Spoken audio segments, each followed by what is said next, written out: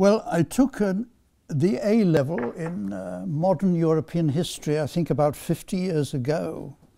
And I always remember there was a subject, one of the subjects we had to look at was the unification of Italy. It was a nice, neat subject within uh, this vast uh, matter of uh, modern European history. That is to say, between 1855, uh, shall we say, and 1870, how all those uh, states and statelets that made up uh, Italy at that time, the peninsula, I mean, uh, duchies, republics, and kingdoms were all united by 1870, of course, including the Papal States. One of those statelets was the uh, Archduchy of Tuscany. And I'm just going to look at Tuscany between 1500 and uh, 1860, something like that. That's the that's the uh, equation, the historical setting at any rate.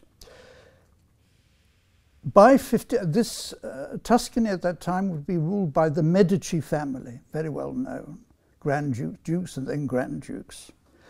Within their territory at that time, 1500, the Republic of Pisa had been absorbed. The Great Maritime Republic, one of them, uh, had been defeated by Genoa, its rival and then went into decline from the 13th century. But also contributing to that decline was the silting up of its port, Porto Pisano, which was on the coast. Of course, if we know the River Arno, Pisa's upriver, and then further on we have Florence, the capital. So with the cl clotting up of Porto Pisano, uh, the Grand Dukes by that time had to look out for another place you know, for their port for Tuscany, very important uh, project.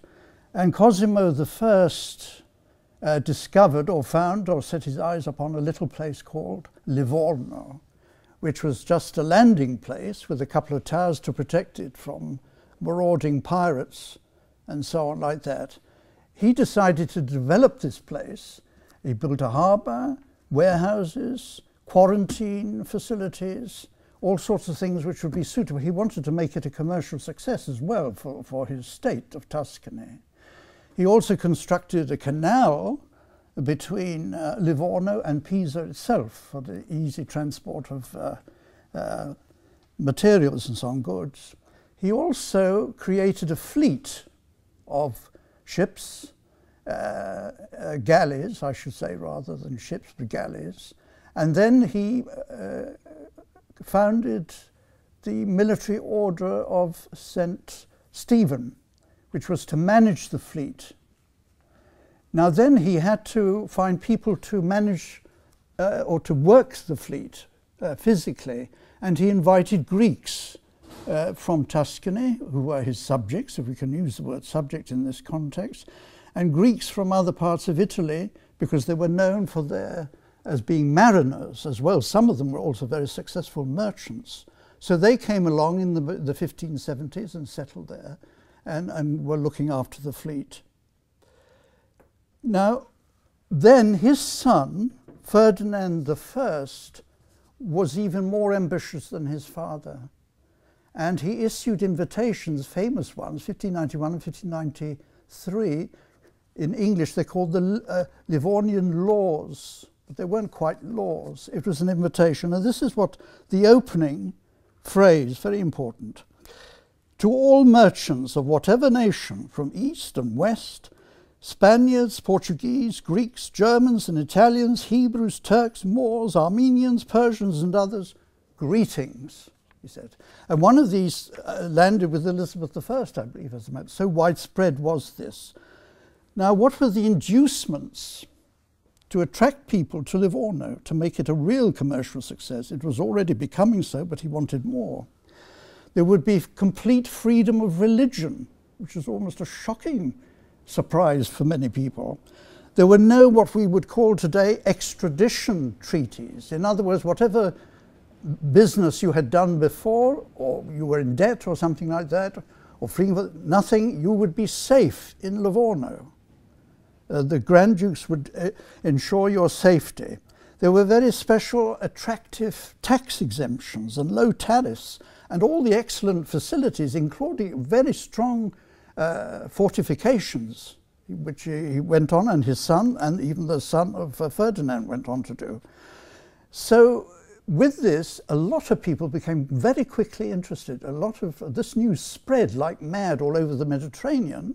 And Livorno actually became one of the most important places in the Mediterranean, along with Smyrna and, and uh, uh, Constantinople and so on. So very, very important place it became. We hardly know of it today, of course, barely, but at that time, in the 17th and 18th century, it was a, a big, big uh, deal, as it were. Well, what of the Armenians? Well, the Armenians had a very long connection with Italy, of course. I mean, we think of the Armenian kingdom of Cilicia, which alas came to an end uh, in 1375 because of Mamluk assaults from Egypt. Uh, but there was a, a, great deal of trading going on between Pisa, Genoa, Venice, and, uh, and, and the kingdom, the Armenian kingdom of Cilicia.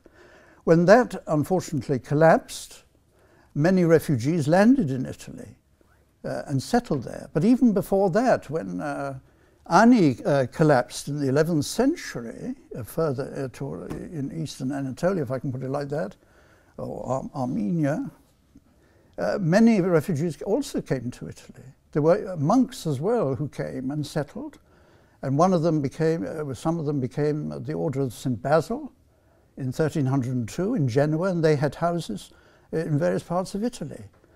There were uh, Armenian saints well known in Italy. For example, I had this book sent to me the other day.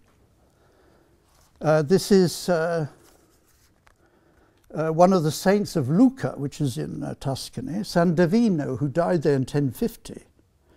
There was uh, St. Miniatus in Florence, if you've been to Florence, I hope so, and you, you climb up the mountain, you're overlooking the city, there's this wonderful church dedicated to him with his relics and Miniatus, again from the 11th century.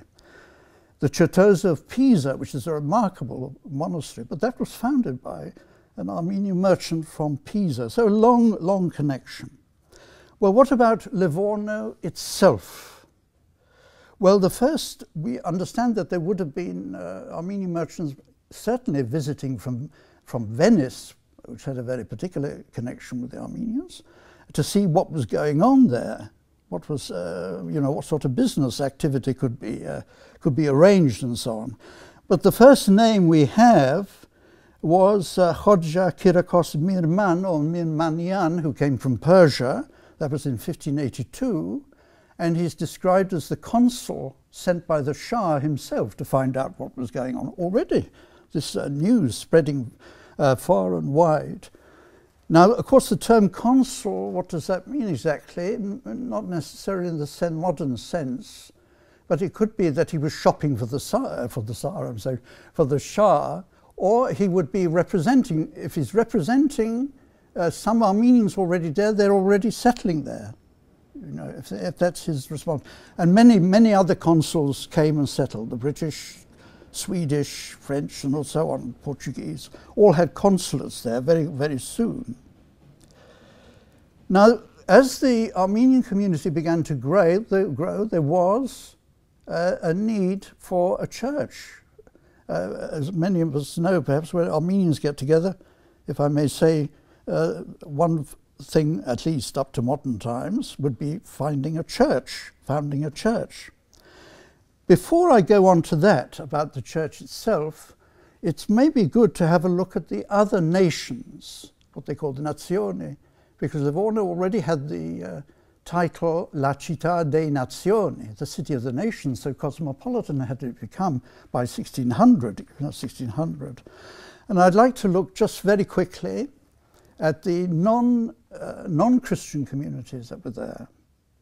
First of all, the Jewish community, which became very famous, and there's a lot of literature written about the Jewish community of Livorno. But these were Sephardic Jews, originally from Spain and Portugal, of course, where they had, uh, were excluded, or some of them had become Christian, forced to become Christian. But they came in their hundreds, one could say, because there was no ghetto. The, the Grand Duke forbade the erection of a ghetto, even though, regrettably, the Holy See was pressurizing the Jews. No, you've got to have a ghetto with a wall and so on. No, no, they didn't. No, he's there to protect them. They had complete freedom, and they flourished. Now, what about Muslims? Uh, there was mention of Turks and Persians, but actually, I doubt if there were any actual Muslim merchants. There would have been Armenians and Syrians, Christian merchants arriving. The only, I think the first time that we know that there were actually uh, Muslim merchants would have been about in the 1760s after uh, the Habsburgs and the Ottomans had signed various treaties in the 1740s. Then the uh, Muslim merchants began, and they didn't want a mosque. They just were happy to worship in the uh, residence of their consul. But they did ask for a cemetery, and they got the cemetery right enough. But however, there was the Bagno. The Bagno was a place, a big fortress-like thing in the port uh, area, uh, which contained at least a thousand slaves, Muslim slaves at this time, who were working in the galleys or doing construction work for the city, uh, or were making biscuits in the Bagno. Why biscuits? Because, of course, the sailors would be taking biscuits, not bread, to sea that would be last, long lasting. In the Bagno, I won't go into the complication, but there were two little mosques for their use. In reciprocal relations, because of the Christian slaves in Algeria and in Constantinople particularly, they were able to have, or there were clergy who were able to have access to the Christian slaves there. Moving on to the Protestants, we have Anglicans, Calvinists, Lutherans, Waldensians probably, coming and going, free as birds. And they could worship, but not in physical churches. That didn't come till the 1840s. Uh, so they met, uh, not secretly, there was no secret, they went in places where they could be and, and pray and worship and so on and so forth. So that they were quite content with that. Then we had Catholic foreigners there were English and Irish merchants and others, French and Spanish and so on, Christians. Uh, they could go attend any church in the, in the town, in the city, of course, because they're using the Latin liturgy, it would be familiar to them. But on the Via Madonna, which will feature a bit in the story, uh, there was a Franciscan church in which, apart from the high altar, there were four national altars one for the Corsicans, one for the French, one for the Portuguese, and one for the uh, Flemish German community. And they could meet there for Mass uh, and have sermons, I presume, in, the, in, their, in their own languages. It must have been terribly crowded on a Sunday. I don't know how they all managed it. But anyway, that was the national church, again on the Via Madonna. Now we come to an interesting group Catholics, Greeks, but of the Byzantine Rite. And this is where you tie up with the Italo, uh, Greek Italia. So they, uh, they had a church quite quickly. In 1604, they had their own church. Where? On the Via Madonna, of course. You know, and this is going to become the Via Nazio dei Nazioni, this particular Via Madonna, anyway. We know that the Greek Orthodox community went to the Greek Catholic Church, the Greek, uh, uh, and attended. Whether they received the sacraments, I don't know or whatever, but that as a meeting place anyway for social gatherings and so on. Uh, they didn't get their church until much later in the 18th century, and even then it was there was no, nothing on the front door to say, but everybody knew what was going on. But anyway, that's a. Now, regarding the Armenians themselves, in this case, going back to them, uh, there had obviously been discussions on, on what to do. Now, they couldn't have an, uh, an apostolic church. Those are the Armenians in union with Echmiadzin, although they could meet quietly and, and worship.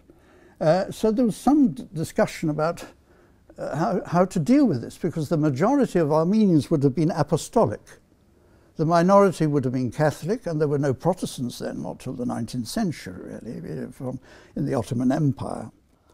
Finally, there was a meeting in 1669 of a group of well-to-do Armenian Catholic merchants and so on to take a serious step to, uh, to uh, collect money, and they signed an accord to that effect. Uh, that uh, people would give donations and so on so that they could buy the ground and then build the church on the ground. In 1692, enough cash had been gathered and they bought the garden, a garden of the Francis, where? On the Via Madonna again. This features a bit. However, they didn't have enough money to, uh, uh, to finish. They could start building a church, but not enough money. So what they did, they signed a second accord, again to receive donations, and somebody was in charge. All this with the Grand Duke's permission. They had to have that. Um, but in addition, a special tax was laid upon Armenian goods coming in and out of the port. Whether they, it seems to be everybody, every merchant, not just Catholic ones, but also apostolic merchants, and nobody seemed to object, which was quite interesting, as far as I can gather. So that is going on. Now, in the meantime, the Archbishop of Pisa, who was in charge of Livorno, Livorno didn't get a, a bishop of its own until 1808.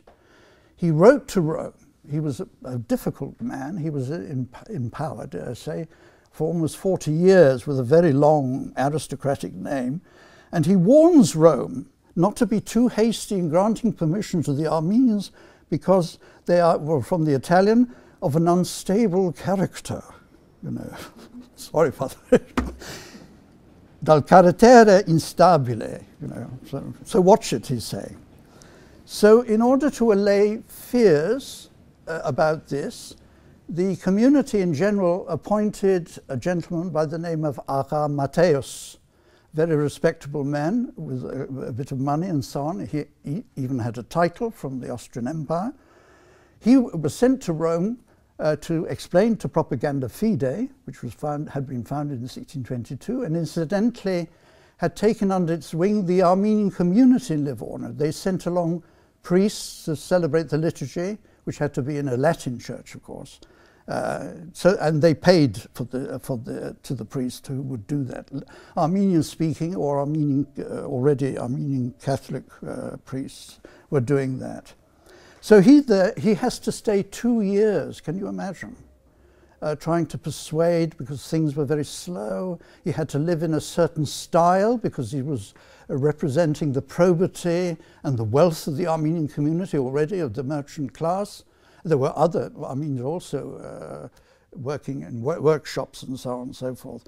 Eventually they agree, and I'm cutting it right down, uh, they eventually, propaganda said yes on condition that the community signs eight propositions and then come back with the Grand Duke's uh, uh, recommendations on, and then we will give you permission. So this is given, I can't go into the eight propositions, but in general it meant the Archbishop of Pisa would have overs oversightship, is that right? The oversight of the, of the matter. Uh, the priest has to sign the, uh, or declare the uh, confession of faith, etc., and no unusual practices must be introduced into the, into the church. Anyway, that's agreed, and straight away, when that's done, 12 foundation stones are blessed on the, on, on the site uh, in, the, in the Armenian tradition. The first stone, and perhaps Father Nazis will correct me, is dedicated to St. Peter. And who was the godfather? The Grand Duke himself. Because this was an occasion not just religious, but also secular. So there were court. He didn't go himself, but he had the representative. Uh, and this was, this ceremony was performed by a former Catholicos of Sis, who was living in Rome, and I presume he must have slipped over to Rome uh, in, in communion uh, but he performed that ceremony. So the building goes on, and the same gentleman, Aya Mateos, is in charge of it for a number of years, and it reaches completion, except for the interior, which is, is, hasn't been decorated yet. So what happens? He's murdered. What a shock to the community. As he's coming out of very early Mass, he's murdered, stabbed 16 or 17 times by one of his employees, a Georgian, who immediately rushes off to the port. Obviously, it's all been planned. He takes ship and the ship disappears and he's, he's gone from the story. Nobody can get hold of him because there's no extradition treaty, of course. So it comes back like that. Um, so it was carefully planned. What had happened was that he had been put in charge, because Mateus was no young man. He'd been put in charge of the workmen's on, but wasn't doing a good work, and he was dismissed, and out of revenge, uh, he was stabbed. So then there's the funeral of Aya Mateus. Uh, his two children are not present there. They must have buried him very quickly, but a funeral, grand funeral for him because of his state, status in, this, in the community. So word goes out to his two children. One is a son who's at the Urbanum College, and I, he's a bit of a shadowy creature. I don't a creature, sorry, a gentleman. Um, whether he was already ordained or a student, but there's a married daughter in Tabriz, which was an important Armenian center in uh, Persia. She's married, as I say, with a small child. Her husband, in the meantime, is in Palermo in Sicily doing business. So they've all come back expecting to inherit, you know, some money, etc. On the contrary, they're plagued by creditors right, left, and centre.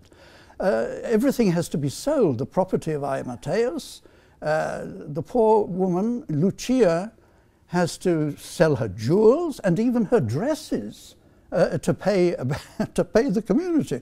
It's a terrible, shameful uh, incident. Uh, so the, the, the, family appealed to Rome about this, look what's, and to the Grand Duke. So it's decided the Archbishop must investigate to find out, well, what, what what's going on. He is in sympathy with the family and, uh, and uh, orders the community to pay them 20,000 scudi, which I think is something like pieces of eight, something like that, because they're using all kinds of monetary uh, matters which are difficult to understand sometimes. Um, and so the tax is renewed on the goods in order to pay the family.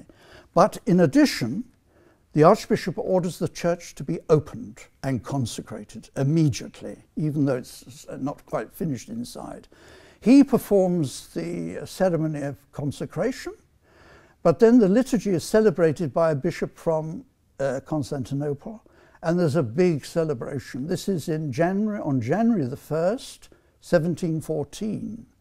And the celebrations go on until, of course, the Epiphany, uh, January the 6th. There's great uh, ceremony that it says something about magnificence and so on and so forth uh, on that occasion. So that's the consecration of the church and it starts to function. I could give you a description of the church, but maybe that could, if we had time later, what we know. There aren't many Armenian features in it because, of course, they, uh, one, uh, one condition was that it must not look unusual on this Via Madonna. It must fit in with the other churches, you know. So it's a very Baroque uh, thing. I have, I'll show you some photos in a moment at the, at the end. And the interior is, they have some Armenian features. Uh, they had a, a baldacchino over the altar, as far as I understand, and the curtain for the, uh, for the liturgy. Now, I just touch on two matters. Uh, there are many matters, actually, about the experience of the Armenian uh, Catholics, and indeed it affects also, I think, the Armenian community as a whole. There's a very serious incident, but it's slightly comic as well, I have to say. There's an Armenian Catholic coffee shop owner who's on his deathbed. So he sends a message to Father Kalian, the parish, I mean Catholic parish priest, please bring me the sacrament. And he rings the bell, the lovely new clock uh, tower, and gathers a little procession to set off. In the meantime, a Latin Catholic priest from the cathedral, although it's not strictly a cathedral, they call it collegiata or something like that, he's very interested in this. And it's near his, uh, the house is near, so he decides to go along himself with the Blessed Sacrament. He arrives at the door, and knocks on the door. And there are two carers in there, two Armenian carers who look, appointed by the community to look after the dying man. Uh, oh, no, no, no, not you, not you. No, no, we have our thing. And look, they're here at the end of the street with the procession. Well, the gentleman, the Latin, goes off in a terrible huff you know, a terrible huff. It goes back to the cathedral. And everybody's wondering what's going to happen now. The, the good dying man dies. He's given, uh, Father Kalian sees to his spiritual needs. And the two carers, what do they do? They take ship and leave the city out of fear. And not only that, the Armenian community are also perplexed and lock themselves away fearing, I presume, the uh, response of the Latin community in general. We must remember this is a port where all sorts of persons are coming and going. There's no established aristocracy there. It's not like Venice or Lucca. This is a new city, the newest in Italy at that time. So all kinds of persons, and it could be an opportunity with a little disturbance to attack the Armenians who are also trading in precious stones and silks and very expensive material. And so they do. So then this commotion, what happens? The Latin Catholic priest complains to the preposto. He's the man in charge of the parish of Livorno under the jurisdiction of the Archbishop. He writes, they are complaining about that.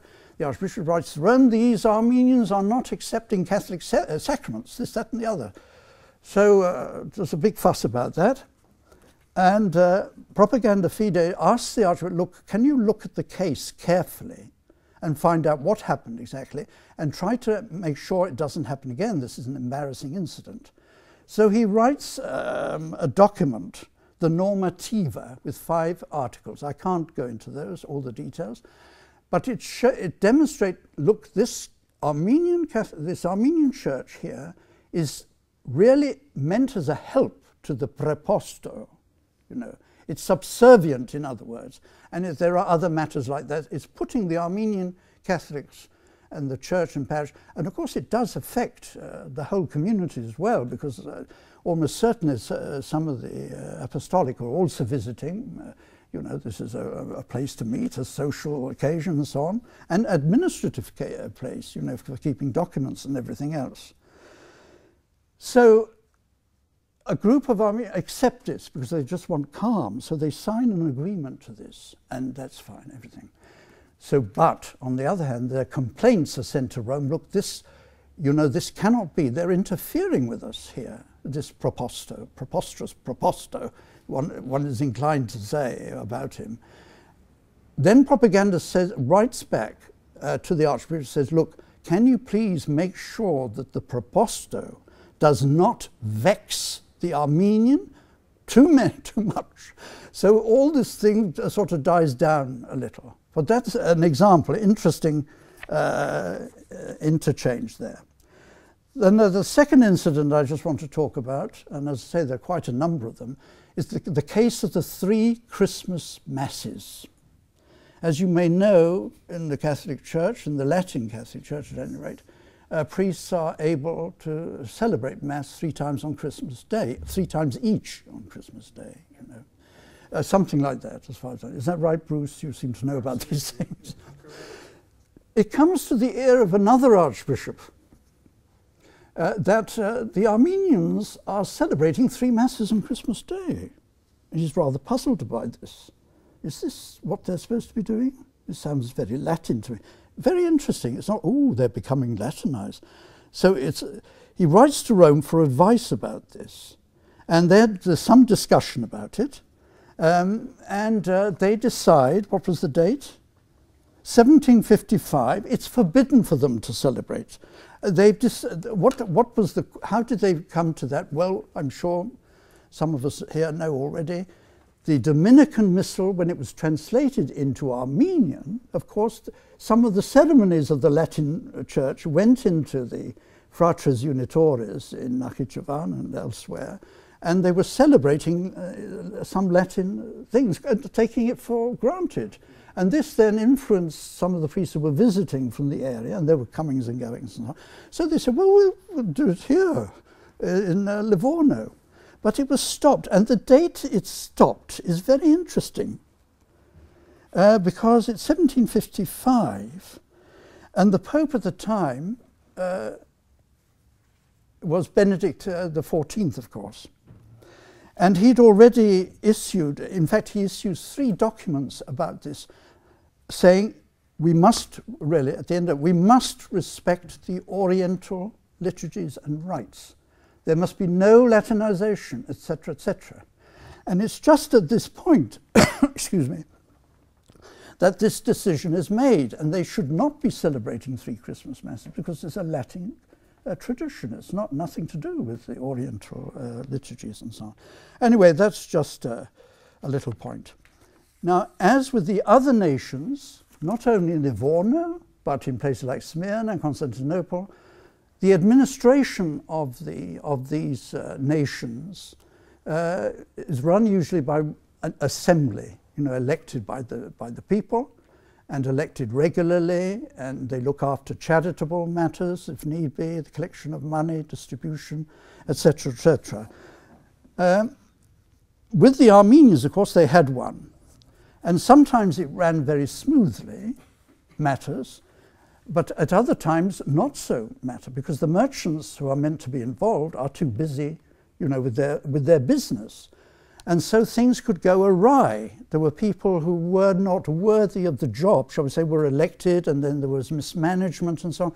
Not just among Armenians, because I know, for, uh, I know very clearly that in Smyrna, the British assembly uh, of the British factory was also can be mismanaged and people not turning up for meetings and so on. So it's not an Armenian weakness, it's uh, anybody, as we know perhaps with in parish life about people not turning up and they, they, they said they were going to turn up.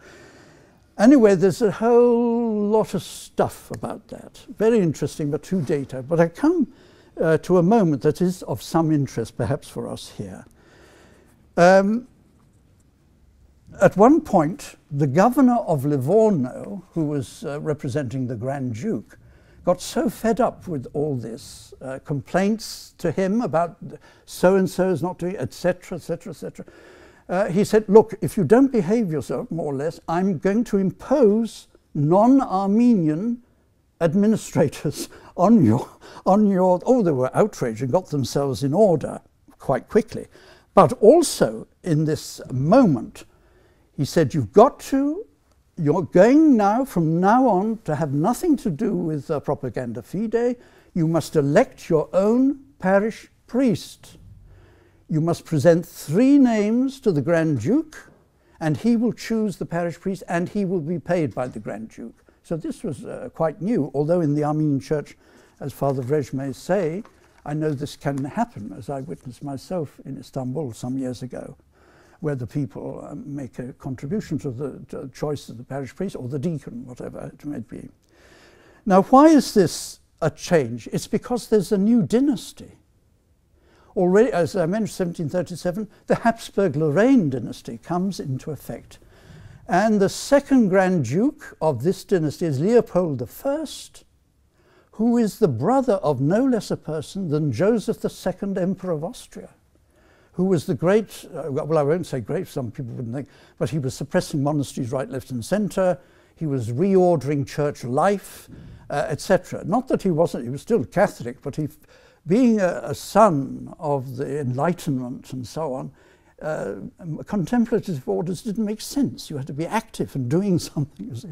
Now, his brother, uh, Leopold, who later became emperor, uh, and actually, they were brothers to Marie Antoinette of Austria, and another sister was the Queen of the Two Sicilies. Anyway, uh, what was lying behind this is, was the grandeur, a no-nonsense man, Leopold. Uh, this, I mean, they must have sought themselves out, so this was going on like that. Well, the next thing was, of course, for the parish was uh, the French Revolution, and Napoleonic troops entered the city. Three times they came in, and of course, one of the main things to pay for Napoleon's confuse, he threw Italy into utter confusion. Tuscany came to an end for a few, a, month, a few years. It became the, the kingdom of Etruria, and there's a whole story about that. And later, directly part of uh, the French Empire with three départements in, uh, in Tuscany and so on. They wanted money.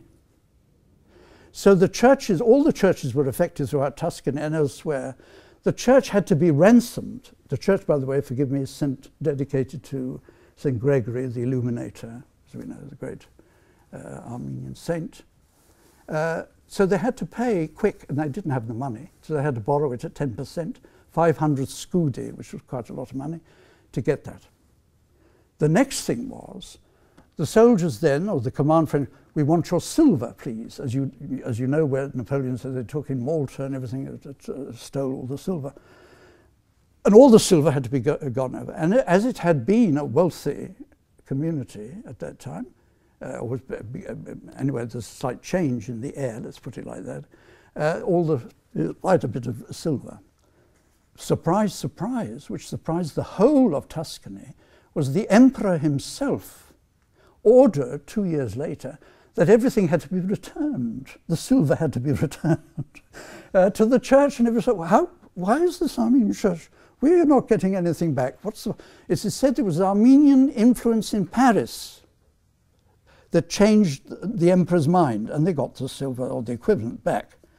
Now, one of the interesting things really was a gentleman by the name of uh, Rustam Mamluk, an Armenian in the emperor's bodyguard, uh, in his entourage, a, an Armenian, as I say, born in Georgia, but uh, taken as a kidnapped and enslaved and taken to Egypt. And then as a young man, the sheikh who owned him gave, it, gave him to Napoleon as a present. And he went everywhere with the emperor, and he wore these wonderful robes. There were other Mamluks in the French army. There was a platoon of them, quite a few, uh, you know, fighting in Moscow and everything else, uh, these Egyptians. And uh, th this uh, man may have, uh, he, he has, his memoirs are published, incidentally. They don't mention this event, but it could be, what, what is meant, what he does describe is that when the emperor was in a reasonable mood, and he knew the emperor very well, the character, because he was with him for some years, if the emperor's in a good mood, he might ask a little favour. It's quite possible that uh, uh, this uh, Mamluk uh, had uh, done that. And it's the same also, it is said that he had influence in Venice, when the emperor was in Venice, uh, you know, the uh, Mekhitarist monastery at St. Lazare was under grave uh, a crisis to be suppressed, like other religions, and its valuable collections and distributor, uh, you know, whatever would happen to them, that he also interceded there indirectly. Who knows about that? Anyway, what time have I got left? Sorry.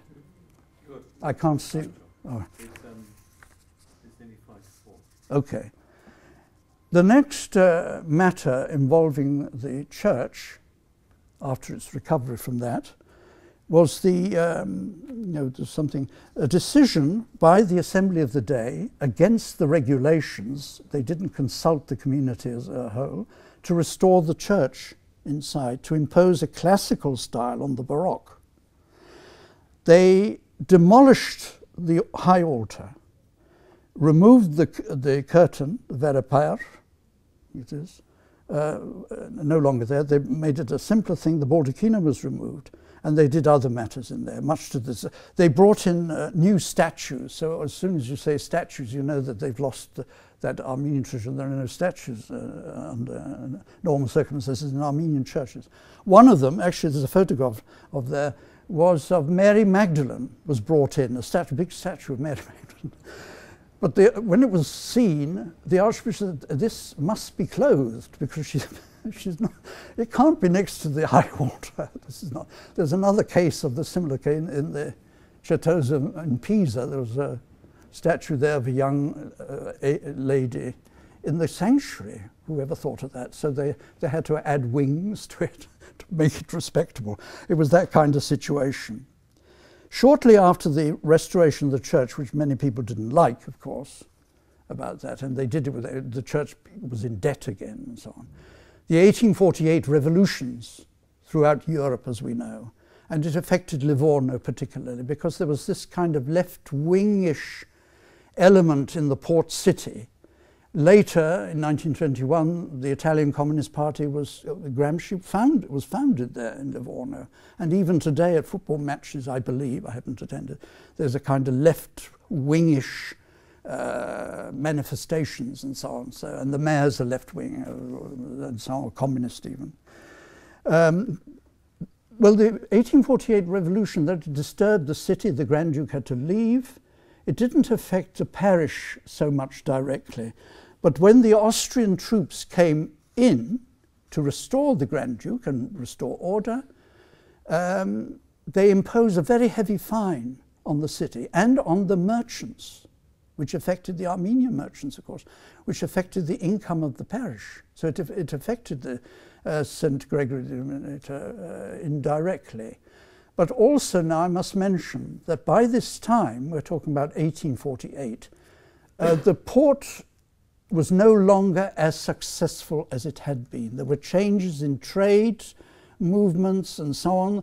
Uh, there were different ways of uh, carrying uh, goods from one end of the Mediterranean to another, etc., etc.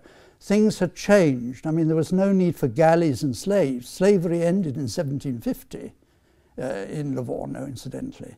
And there were fewer and fewer, and, and uh, the, uh, these um, galleys were sold off, I think, some to Monaco, the Prince of Monaco, and even Richelieu, I believe, bought some at another stage. So it's declining in trade. Uh, Livorno is going down a bit. Some people have different views about that. The next matter that the church had to deal with was the Risorgimento. Uh, as I mentioned right at the beginning, the Grand Duchy was absorbed into the Kingdom of Italy in 1859-1860, and now the church had to deal with a new set of regulations put down by the Italian government, the new Italian government, which was based in Florence and then later, of course, moved to Rome late, uh, later. Alas, uh, the Italian government had decided that again there'd be confiscations, right, left, and centre. Uh, and this applied then to the Armenian church. Um, what was the source of income? Now that the um, merchants, the richer sort of person, had gone to other fields. It was the, the stipends left for masses for the dead, and it was not insubstantial. Um, the government said, no, that belongs to us, because the church belongs to us. Why? Because the, because the, the pr previous government, the Grand Duchy, the Grand Duke, uh, appointed the parish priest and paid him. See, so it came back uh, like that to, uh, to knock the, communi uh, the community on the head a bit. Well, there was much discussion about this, and lawyers were brought in, articles were written, um, and then they appeared, well, look, the people who, uh, who left this money were Ottoman subjects. So the Ottoman ambassador in Florence was brought into it, and big discussions about that. Uh, no, and then they claim, some of the Armenians there in the we are Ottoman subjects because this business of subjects is a bit uh, vague in some cases. When it was first established as a city, city status in 1606, something, a lot of things happened in that first decade, there were only 100 citizens technically, including foreigners, but they had to be Catholic. And, uh, and then there were additions, Armenian uh, merchants were added and so on. There was an Irishman, appointed as a, a citizen and so on and so forth. At the end of the day, there was a compromise, fortunately. They had to pay a large sum of money, and then uh, they could keep these stipends. And then the Holy See intervened because Italy was in chaos, because uh, the money was changing into the lira, there were so many masses, so they, they decided to cut down masses for the same money. There's a special term for it, which I used in the past, in, in my past life, but I can't remember what it is. So instead of saying 50, offering 50 masses for such amount, it could be 10 or 5 and so on. This was just a practical matter the Holy See had to deal with. Now I'm going to move on to when uh, the parish priest from whom a lot of this information came in his book, which he wrote uh, when he returned to Constantinople, um, Mesrob Ahulian, arrives as parish priest in 1879. What does he find? Well, it's not a happy sight, I have to say. There are hardly any Armenians left. They've all gone. Or they have uh, gone into the district, scattered. They have married, as is often the case, married uh, into Italian families and so on. Nobody is, very few are speaking Armenian. He tries to establish Armenian lessons. Nobody's interested. Uh, for the liturgy, he trains 10 Italian boys to sing the liturgy, and with great success, apparently. He gets some Latin Rite priests of Armenian descent to learn the liturgy and to help and so on, and that works out quite well. And this. He restores the curtain for the liturgy and so, uh, and so on. He tries his best, although I think at the end he's there nine years. He's glad to return to Constantinople because the life of the parish has really uh, been ex uh, extinguished in a sense, one could say. There were, uh, even among the apostolic, uh, there aren't many there really left in, in Livorno. I just move on now quickly. The church survives. Second World War. Livorno has become a shipbuilding, uh, very important shipbuilding uh, port. And today it's very important. It's one of the largest, um, what you call container ports now in, in, in, the Mediterranean. So it's got, because of its, uh, this industry, it's heavily bombed. And only, I'm told, 8% of the old city, of what we're talking about, has, remains untouched. The, Armenian church is bombed and it's not built up, but the, but the facade survives. I'll just show you a picture of it in a moment. Um, now, the big question out of all this, really, perhaps the most interesting question, and I think perhaps, perhaps Father Nerses would be able to add to that. Why was it that the Greek Catholics had a church so quickly, 1604, whereas the Armenians, Catholics, had to wait another century? Why was it so long before there was this meeting in 1669? And this is uh, an interesting question to try to solve. Um, the Greek Catholics of the uh, Byzantine Rite were very well known in Italy, you know, in southern Italy and Sicily, and the bishops in Grottaferrata and so on, uh, Greek Byzantine establishments and so on, very well known. The church, the, the, the church of Rome, uh, the uh, Holy See knew them very well. Well, yes, but they knew the Armenians very well. I described it a, few, a few minutes ago about how well embed, embedded they are in Italian society by that time. So what was, was, what was the problem exactly? I think it might be uh, uh, it might be that in the 17th century there was great confusion in the Armenian world. That's my thought. Um, people may not know what was going on. You had a great deal of trouble in Constantinople with patriarchs being uh, sympathetic to Catholic, uh, Armenian Catholics in the city, and then others coming along. There's a whole story there of difficulties and struggle between Catholic emirs and, uh, emirs and so on. Um, there was trouble in Poland. Trouble in Poland. trouble in Aleppo. What are, the, what are ordinary Armenians thinking? lot, most of them would remain faithful to Echmiadzin, but then you have uh, conversions of the Catholic Church. The Latin missionaries are arriving, causing consternation. Of course, the, in their mind, of course, we couldn't accept such a thing now. They, they had in mind we must bring all these good people into union with Rome for their own sake, you know. Uh, Florence has failed, and etc. But uh, we must go and do that. And they caused a, a great deal of confusion. That can't be denied. I mean, many of them are goodwill and maybe not so for vanity reasons, ambition, or whatever. So there was all that kind of problem. There was no Armenian Catholic hierarchy to speak of. Later, yes, in the 18th century, we have ordaining bishops in Rome from 1715, something like that. We had Armenian ritual vicars in Constantinople, 18th century. And of course, then we had the uh, uh, Catholicos elected and, and uh, recognized by Benedict XIV Ardzivian, who become, becomes the first Catholic uh, Catholicos or uh, Patriarch of Cilicia. All before. There was, of course, I just mentioned Poland, but Torosevich, who came into, uh, is a bad word among many people, he came into, but he was still in power, in power until uh, 1681, quite late. And then there was difficulty with his successor, Hunanyan. So that wasn't a place where the Holy See could latch on to to find out what is going on in Livorno exactly. And it's a port city. There are people coming and going freely, apostolic uh, clergy and bishops even, I should say. Uh, on one occasion, uh, an apostolic priest came. He had great influence on the community uh, to such an extent, uh, so successful, that the community made an appeal to the Grand Duke to get rid of the two Armenian Catholic priests. So he expelled them like that. Of course, the, Pope, the Pope was furious and they had to go back into. And it's interesting to know why the Grand Duke at that moment agreed to that, knowing that he would upset, not that they were too worried about the Holy See, although they had three popes, of course, uh, Medici popes uh, in the fam- uh, from the family.